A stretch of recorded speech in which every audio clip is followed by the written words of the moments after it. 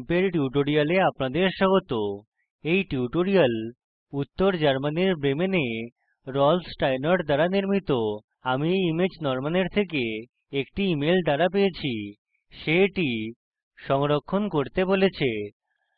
raw converter ব্যবহার করার পর সে এই ইমেজ পেয়েছে এবং এখানে এটি original image ইমেজের তুলনা করে norman কি করেছে এটি স্পষ্ট হয়। প্রথমে সে image ঘুরিয়েছে এবং তারপর foreground রঙ এবং উজ্জ্বলতা পেতে সে curves tool থেকে image edit করেছে এবং মেঘ অধিক ঘন না করার চেষ্টা করেছে। আপনি এই image দেখলে মেঘ বেশ চমত্কার দেখায়। আমার সেটি পছন্দ এবং আমি এই শোতে এই image দেখাতে তার থেকে অনুমতি নিয়েছি এবং আমি এখন আবার তার কাজ করার চেষ্টা করব এবং তারপর আমি তার image ভালো মেঘ পাওয়ার চেষ্টা করব।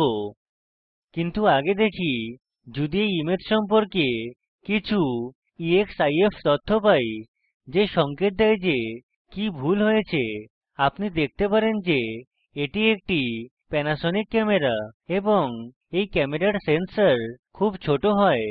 আপনি আপনার জামার পকেটে এই camera রাখতে পারেন। এখানে আমার কাছে এক্সপোজার ডেটা রয়েছে। এক্সপোজার time সেকেন্ড 1000 এবং অ্যাপারচার 56 হয়। ফ্ল্যাশ on ছিল এবং camera image ফ্ল্যাশের প্রভাব গণনা করেছে। এই ধরনের ছোট ক্যামেরার ফ্ল্যাশ এই ধরনের একটি দৃশ্যের সাথে কাজ করে না। আমার মনে হয় ইমেজের এই অংশ চমত্কার করতে আপনাকে আপনার পেছনে একটি ছোট পরমাণু বোমার মত কোনো জিনিসের প্রয়োজন। এই image jpeg তে সংরক্ষিত হয়েছে এবং যা আরও একটি সমস্যা দেয়। এই ক্ষেত্র যা এখানে এই image বাস্তবে আকর্ষণীয় অংশ। Jpeg compression জন্য অত্যাধিক গাঢ় হয়ে যায়। আমি দিগন্তে zoom করলে আমি একটি সুনির্ধারিত stuff দেখতে পারি, কিন্তু একটি অধিক তীক্ষ্ণ এবং দিগন্তে সেখানে একটি জাহাজও রয়েছে। মেঘ ভীষণ স্পষ্ট, কিন্তু আমি গাঢ় অংশে গেলে আপনি এখানে একটি বড় গাছ দেখতে পারেন, কিন্তু কিছুই স্পষ্টরূপে দেখায় না। এটি এইজন্য কারণ jpeg ইমেজের সেই অংশ ছেড়ে দেয়, যা ক্যামেরার কম্পিউটার প্রোগ্রাম। এই বোঝায় যে আপনি কখনো দেখবেন না। কিন্তু আমাকে এই stuff এখানে দেখতে হবে এবং আমি jpeg কম্পেরিশনের সাথে একটু আটকে গেছি, কারণ এখানে হারিয়ে যাওয়া তথ্য আর কখনো দেখা দেবে না। আপনি এখানে raw shoot করলে আপনি এই ধরনের সমস্যা থেকে বাচেন এবং পরের tutorial আমি uf raw converter এবং gimp এর সাথে এর ব্যবহার কীভাবে করে তা দেখাবো। এবং আমার মনে হয় যে পরের tutorial জন্য এটি সঠিক বিষয়। আমি এটি এখানে tool box টেনে gimp এ image load করি এবং window বড় করি। এখন আমার প্রথম step হল এই ইমেজের সাইজিং কারণ এই image বেশ বড়, যার পরিণামস্বরূপ xcf file 40 মেগাবাইটের অধিক হয়ে যাবে। টুলবারে image টিপে সাইজ কম করা যেতে পারে। scale image চয়ন করুন।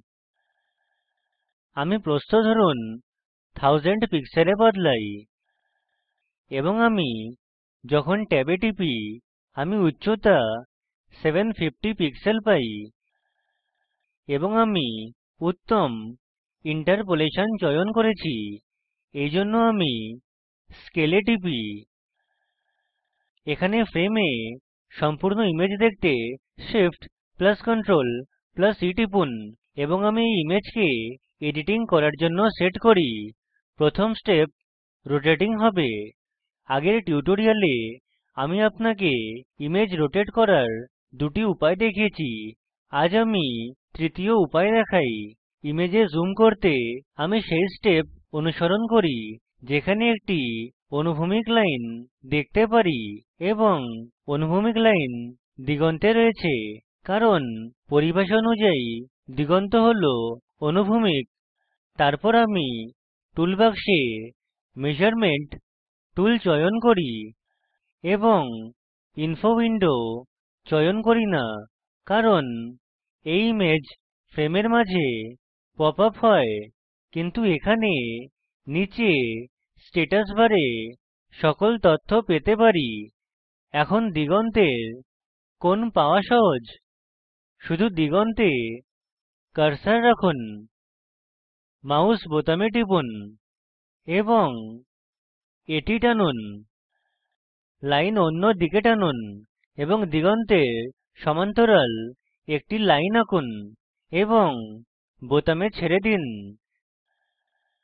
status bar এঞ্জেল info দেখুন। এবং এখানে দেখতে পারি যে এঙ্গেল হল 164° এখন আমি rotate tool চয়ন করি, শুধু image টিপি এবং লিখি163° মাইনাস কারণ আমি +163° counter করতে চাই। rotate এ টিপুন। এবং আপনি rotate করা image পান।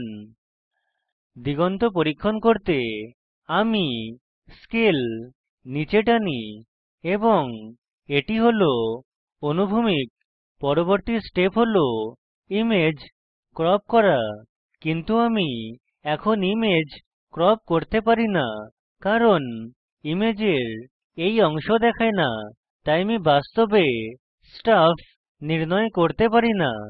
আমি জানি না যে কোথায় crop করতে হবে। তাই ইমেজের এই অংশ একটু বেশি উজ্জ্বল করুন। আমি curves tool কাজ করতে চাই, কিন্তু তার আগে আমি layer একটি copy বানাই। কারণ আমি যখন curves tool প্রয়োগ করি, ইমেজের তথ্য হারিয়ে যায়। তাই ইমেজের সাথে এমন কিছু করবেন না যা আপনি ফেরৎ আনতে পারেন না। আমি rotate করেছি, কিন্তু আগের step original image কিছু করবেন না। প্রথমে আমি land অংশ সম্পাদন করব, তাই এই layer land বলব এবং এ দুইবার টিপুন, যেখানে name উপস্থিত এবং return টিপুন। এখানে layer name হল land আমি curves tool চয়ন করি, image টিপি, এবং এখন আমি image অন্বেষণ করব। ইমেজের এই অংশ বাস্তবে সবচেয়ে গাঢ়, যে কেউ এটি সহজে চিনতে পারে, কিন্তু এখানকার ঘাসও অনেক গাঢ়। জল এখানে ধূসর স্কেলের এই ভাগের মত মনে হয়, এবং আকাশ সম্ভবত এই অংশ। আমাকে এই image ভূমি উজ্জ্বল করতে হবে এবং আমি এটি শুধু উপরে টেনে করি। এখন যে প্রশ্ন মনে আসে তা হল, আমাকে এটি কদ্দুর পর্যন্ত টানা উচিত, কারণ আমি অনেক দূর পর্যন্ত গেলে এটি কৃত্রিম মনে হয়। আমি যদি curve অনেক পার্থক্যের সাথে 100 এবং ভূমি মেলাতে চাই, তাহলে এটি বাস্তবিক ইমেজের মত দেখায় না। তাই আমি এটি একটু নীচে টানি। আমি এটি চেষ্টা করি। এটি এখানে ভালো দেখায়। সমুদ্র খুব উজ্জ্বল নয়। এবং এছাড়া chapel ও দৃশ্যমান। তাই আমি ok টিপি। ভূমির অংশ সম্পাদন করার পর আমি এখন আকাশে যাই, মূল layer আরেকটি copy তৈরি করুন এবং এটি উপরে নিয়ে গেলে একে sky name দিন। layer দুইবার টিপুন। name sky লিখুন enter টিপুন এবং আমার কাছে sky রয়েছে।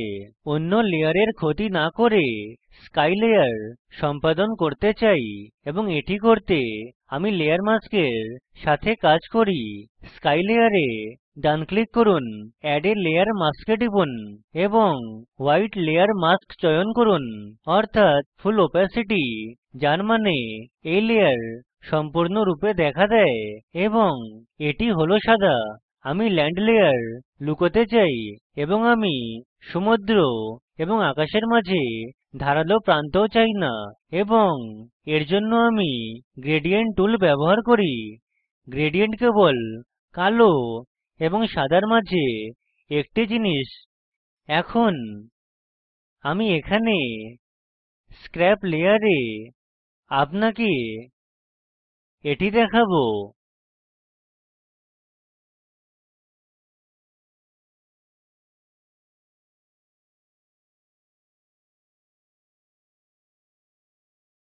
আমি gradient tool চয়ন করেছি এবং এটি নতুন জিনিস যা আমি আকস্মিক পেয়েছি যে যখন আপনি tool icon দুইবার টেপেন, tool বিকল্প নিজেই চয়নিত হয়ে যায়। আমার মনে হয় না যে এটি আপনার জন্য নতুন, কিন্তু এটি আমার জন্য নতুন। জানা ভালো জিনিস, gradient tool ফিরে যাই, যখন আমি এই line বাম mouse বোতাম টিপে এখানে টানি এবং এটিকে ছেড়ে দেই। শুরুর পয়েন্টের বামদিকের ক্ষেত্র কালো রঙ দ্বারা ভরে যায় এবং অন্তিম পয়েন্টের ডানদিকের ক্ষেত্র সাদা রঙ দ্বারা ভরে যায়, যা gradient অন্য slide, সাদা এবং কালোর মাঝের ক্ষেত্র ধূসরের বিভিন্ন ক্রম, এবং এটিকে gradient বলা হয়।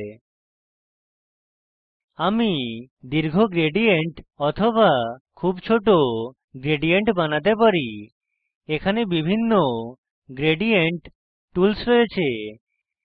এবং আমি এখানে কালো এবং সাদা stick করব। এখানে অনেক বিকল্প রয়েছে, যেমন radial, যেখানে আপনি বৃত্ত বানাতে পারেন। এখানে আরও অনেক বিকল্প রয়েছে, যা আপনি ব্যবহার করতে পারেন। এই টুলের এই বিকল্প অন্বেষণ করার যোগ্য। তাই আমি shape linear এ set করি। এবং এখানে scrap layer মুছে দেই। এখন আমি এখানে sky layer কাজ করছি। image পারদর্শী করা থেকে প্রত্যক্ষ করা পর্যন্ত, gradient কালো থেকে সাদা পর্যন্ত set করেছি এবং আমি layer dialog ফিরে আসি এবং যাচাই করি, যদি layer আমি নিজে সক্রিয় করে থাকি, কারণ আমি মূল image পেন্ট করতে চাই না। আমি layer mask পেন্ট করতে চাই। image zoom করতে zoom tool চয়ন করুন। এটি একটু অনুশীলন করা উচিত।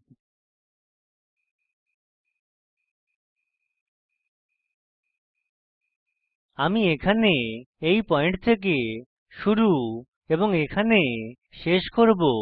আমি gradient সোজা চাই, কারণ এই ধরনের gradient এমন image ফলাফল দেবে যা আমি চাই না। step আনডু করতে ctrl + z টিপুন।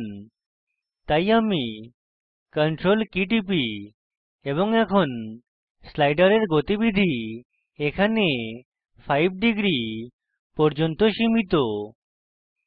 আমি এখানে এই পয়েন্ট থেকে এটি বানানো শুরু করি। আমি সম্পূর্ণ image ফিরে আসলে আপনি দেখেন যে এটি হল আমার gradient আমি অন্য layer বন্ধ করলে উপরের layer ইমেজের শুধু উপরের অংশ দেখায়। এবং অন্য background দেখায়। কিন্তু আমার এটি খুব বিশ্বাসযোগ্য মনে হচ্ছে না। এটি একটু artificial মনে হয়, তাই আমি এখন আকাশ একটু অধিক উজ্জ্বল করতে চাই। এটি করতে প্রথমে layer mask নিষ্ক্রিয় করতে have এটির উপর কাজ করতে layer সক্রিয় করি। না হলে আমি layer mask curves tool প্রয়োগ করতাম। এর চারিদিকে সাদা frame থেকে আপনি layer সক্রিয় ভাগ সর্বদা চিহ্নিত করতে পারেন। তাই এটি এখানে চেষ্টা করুন। এখন আমরা আকাশ উজ্জ্বল করতে চাই। তাই আমি এটি একটু উপরে টানছি। আমার মনে হয় এটি বেশ বিশ্বাসযোগ্য, কারণ আকাশ উজ্জ্বল এবং আকাশ ও সমুদ্রের মাঝের artificial border নষ্ট হয়ে গেছে। আমার মনে হয় এটি কাজ করবে। তাই এখন sky এবং এর নীচের layers বন্ধ করে image তুলনা করি। আপনি পার্থক্য দেখতে পারেন। এটি মূল image এই layer নতুন আকাশ এবং নীচে এটি হল নতুন ভূমি। আমার মনে হয় ভূমির জন্য একটু অধিক contrast প্রয়োগ করা উচিত, কিন্তু আমি নিশ্চিত নই। তাই আমার এটি চেষ্টা করা উচিত।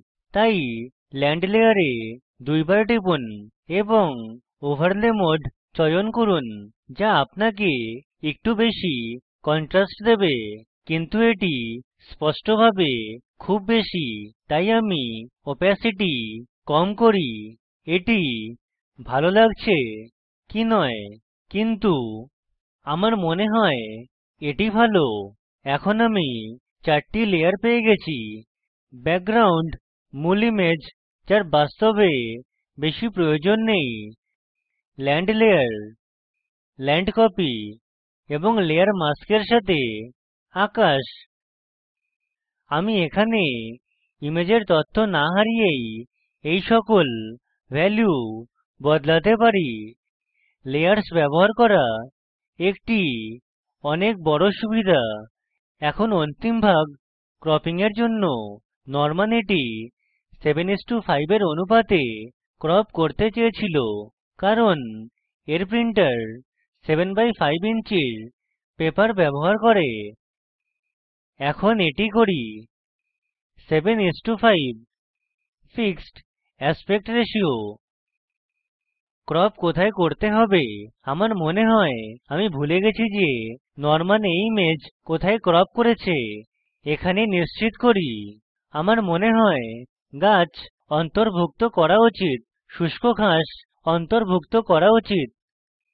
তাই আমাকে এখানে ডান কোণায় শুরু করতে হবে এবং শুধু crop tool উপরে টানুন। এটি শুধু পছন্দের ব্যাপার। এবং pumping এর সাথে কিছু করতে have না, যে কেউ শিখতে পারে। Rule of thirds রয়েছে। এখন আমি এটি ভিতরে রাখি। এখানে আপনি chapel আগের ভাগ দেখতে পারেন না, যা এখন পছন্দিত ঘটক। এখানে অধিক শৈল্পিক golden অংশ রয়েছে এবং এটি সহায়ক হতে পারে। কিন্তু আমার মনে হয় সবচেয়ে ভালো শুধু আপনার নজর। আমার মনে হয় এটি কাজ করবে।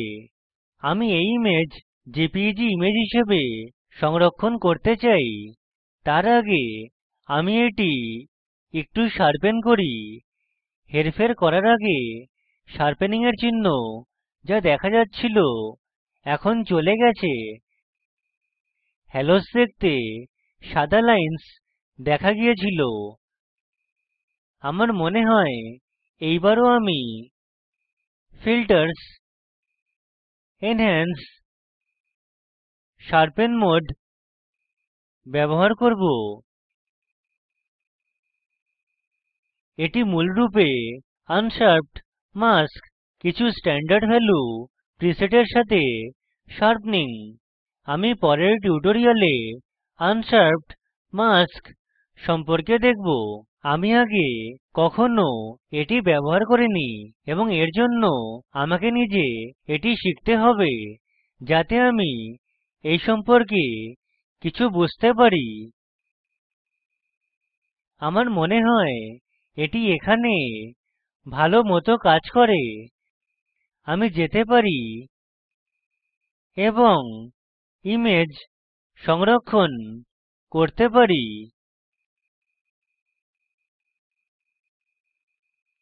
আজ আমি কিছু মজার জিনিস লিখছি। আমি জানি যে jpeg একাধিক লেয়ারের সাথে image হ্যান্ডেল করতে পারে না, তাই image এখন এক্সপোর্ট হয়ে গেছে। অন্য সকল লেয়ারের তথ্য হারিয়ে গেছে। gimp শুধুমাত্র একটি সতর্কবাণী দেয়। আমার মনে হয় 85% quality বেশ ভালো। ফাইলের আকার এবং ইমেজের quality মাঝে নিখুঁত সন্ধি।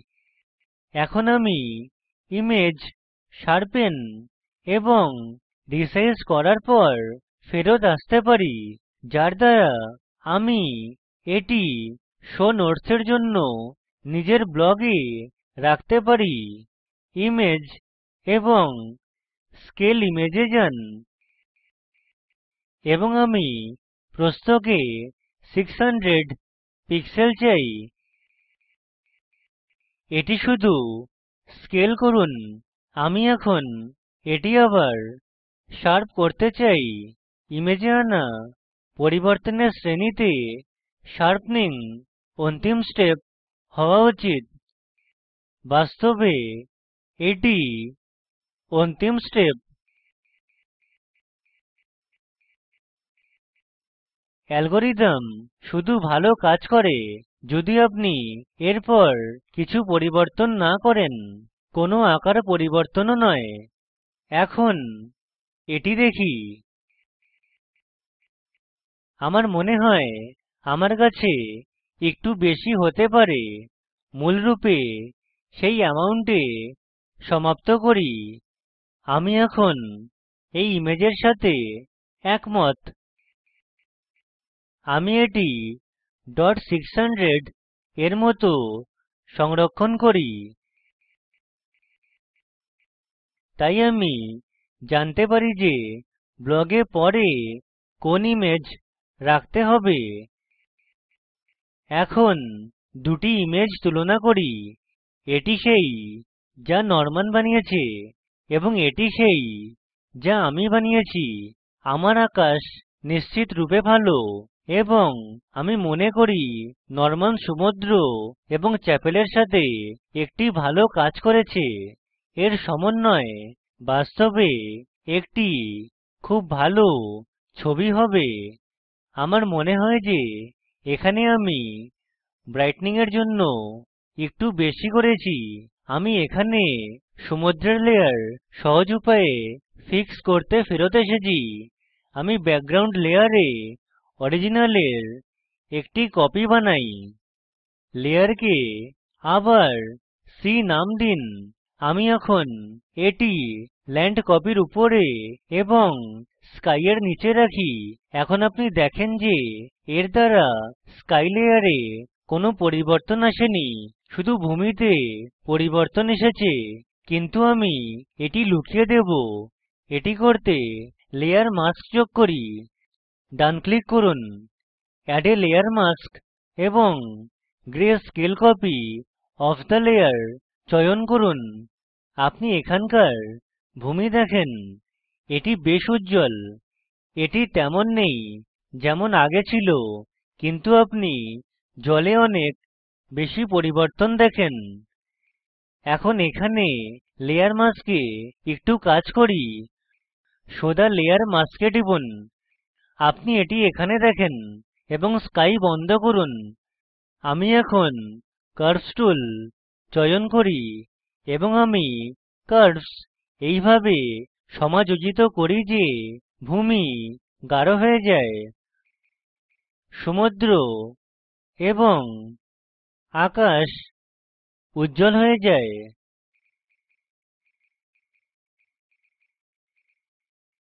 এখন image দেখুন show layer mask এ unclick করুন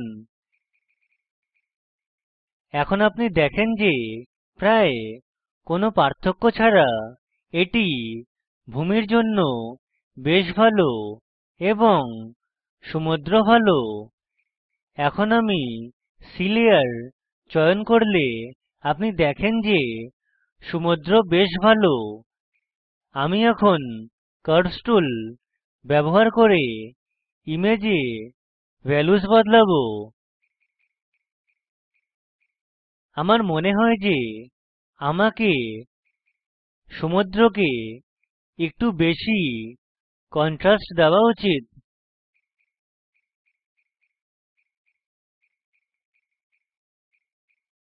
একটু এইরকম যেমন এখানে রয়েছে। এখানে image খাড়া ঢালে অধিক contrast রয়েছে। histogram এই অংশ সমুদ্র ছিল। তাই আমি এখানে অনেক contrast পাই। শুধু curve সাথে চারিদিকে fill করুন যতক্ষণ এটি fits না হয়ে যায়। আমি আগে এটি চেষ্টা করিনি। এইজন্য আমাকে এটি পরীক্ষণ করতেই have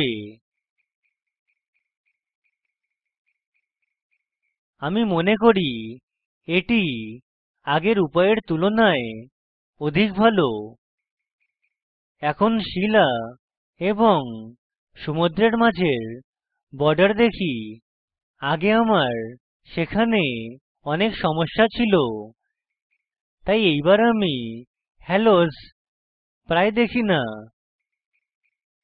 এবং আমি এখানে এটিতে zoom করলে আপনি হ্যালোর মত কিছু দেখতে পারেন। কিন্তু এটি শুধু সমুদ্র সৈকতে সার্ফ। হ্যালো নেই। আমার প্রথম চেষ্টায় আমি ভূমি এবং আকাশের মাঝে একটু অধিক অন্তর প্রাপ্ত করার চেষ্টা করেছি। আমি এটি করে ফেলেছি। কিন্তু এইভাবে আমার মনে হয় এটি ভালো কাজ করে। এখানে কিছু করা বাকি রয়েছে কি? অধিক তথ্য meet the gimp org এখানে উপলব্ধ। কোনো মন্তব্য করতে চাইলে info @meetthegimp org তে লিখুন। আশা করি আপনার সাথে পরের বার আবার দেখা হবে। আইআইটি আই বোম্বে থেকে আমি বিদায় নিচ্ছি। অংশগ্রহণের জন্য ধন্যবাদ।